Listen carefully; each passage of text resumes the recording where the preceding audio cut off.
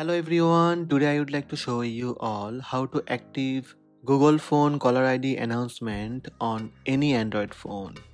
Let's have a look. First, open Play Store.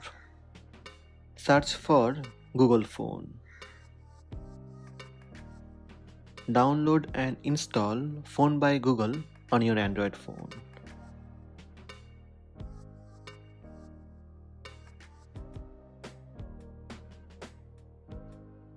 When Google Phone app installed, open Google Phone app.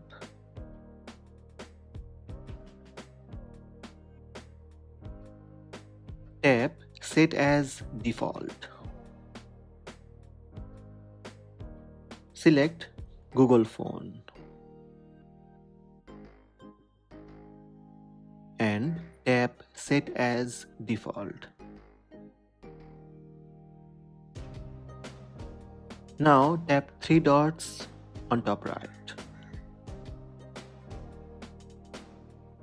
Tap Settings. When you are in Google Phone settings page, scroll down and tap Caller ID Announcement. The caller's name and number will be read out loud for incoming calls. Tap Announce Caller ID. From these options, you can choose always. That's it. Go back and close phone app.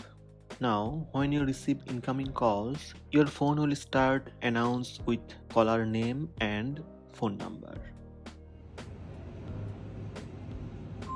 Incoming voice call from Hubby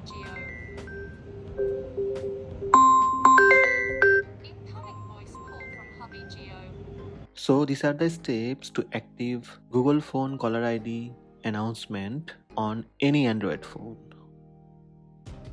Hope this video help you. Please subscribe my channel by tap subscribe button. Also tap the bell icon to receive notifications about all new videos.